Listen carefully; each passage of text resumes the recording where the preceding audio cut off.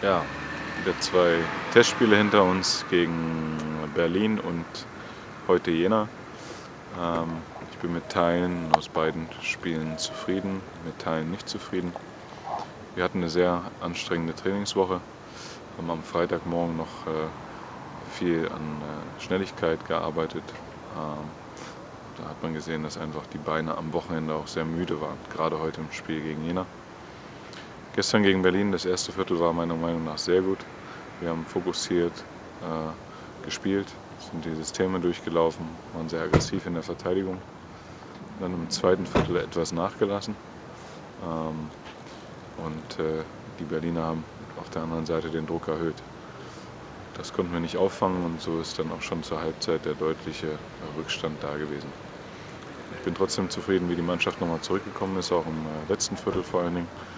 Wir den Rückstand nochmal auf elf Punkte verkürzen konnten, äh, obwohl wir trotzdem äh, ganz gut durchrotiert haben. Heute gegen Jena war, waren wir sehr müde. Wir haben viele Fehler gemacht, vor allen Dingen im Angriff, viele Bälle verloren, schlechte Pässe gemacht, schlechte Entscheidungen getroffen. trotzdem war uns wichtig natürlich, dass wir das als richtige Spiel auch ansehen.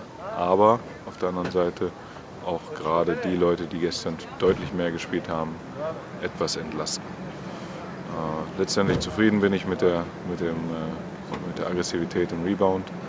Äh, nicht zufrieden, wie ich schon sagte, mit den Angriffsentscheidungen, aber auch mit der Aggressivität in der Verteidigung.